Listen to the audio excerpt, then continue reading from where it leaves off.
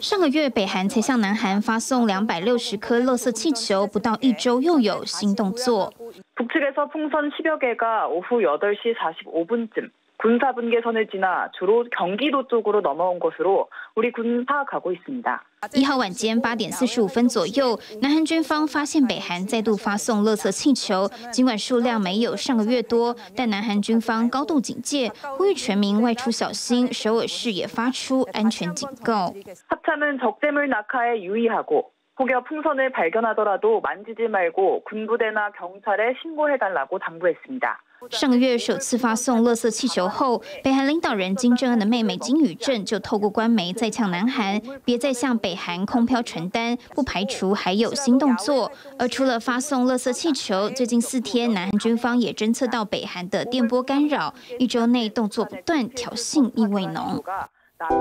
想看最完整的新闻内容，记得下载 TVBS 新闻网 APP。